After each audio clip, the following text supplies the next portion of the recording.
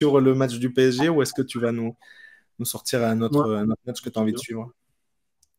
Non, non, je vais regarder, je vais regarder PSG Lorient. On rappelle aussi qu'à Lorient, il y a la, la petite surprise Benjamin Mendy, hein, qu'on va suivre, évidemment. C'est aussi, l'autre attraction de ce match.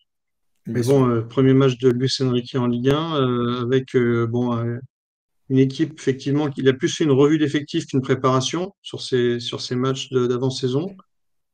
Donc, quel, quel 11 il va nous sortir? Déjà, ça sera une info très intéressante. Est-ce que Verratti sera dans le 11 ou pas? Parce qu'on parle de Verratti sur le départ ou pas.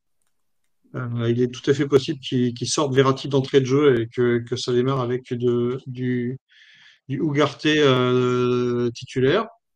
Et Zaïre Ça, on va voir. Et puis, euh, Emery, c'est sûr qu'il sera titulaire. Et puis, euh, je pense que Vitinha, il est, je pense que Vitinha, il va passer devant Verratti dans la hiérarchie de, de Luis Enrique, ou pas. Et ça, ce sera une des, une des choses à, à- à observer.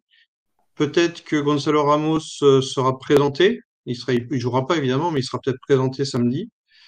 Donc, euh, pas mal de choses à surveiller du côté du, du Parc des Princes samedi à 21h. Ah, Mais euh, je regarderai Nice-Lille la veille euh, avec intérêt. Le, le vrai match d'ouverture de la saison, c'est Nice-Lille vendredi. C'est ça, ouais. Mais euh, je disais juste, je voulais dire, euh, le, le- comment dire, le présentoir euh, avec toutes les recrues du PSG cette saison, il va être énorme. Ça va être un podium qui s'arrêtera jamais parce que il y en a quoi? Il y en a neuf, c'est la neuvième, Ouais. Ramos? Ouais. Il y en a un paquet cette année. Ah, je sais pas. euh, Attends, on va vérifier.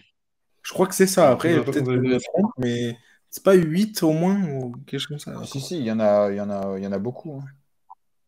Bah, il y a Alors. Endour, Ugarte, Hernandez, Ugarte, Lee, Skriniar, Asensio, oui. Endur, euh, Simons, Tenas, euh, Diallo et Ouais. Kitike, donc qui sont. Enfin, Diallo c'est un retour de prix et Kitike c'est euh, donc le transfert euh, Simon- définitif. Si- Simmons qui a, qui a été reprêté dans la foulée, rappelons-le, donc il ne jouera pas. Ouais, à Leipzig. C'est ça. Endo Donc, euh, Hernandez, il y a, il y a Kang, il y a Kang Min Lee aussi, le, le, le- Oui. le coréen. Est-ce que lui va, il va beaucoup jouer ou pas? Ça, c'est aussi une des, une des, une des choses qu'on va surveiller. Asensio, Ugarte, Et du Asensio. coup, après Asensio, et il y- il y a aussi, du coup, peut-être Dembélé, peut-être Gonzalo Ramos. Enfin bref, il y en a, il y en a un paquet.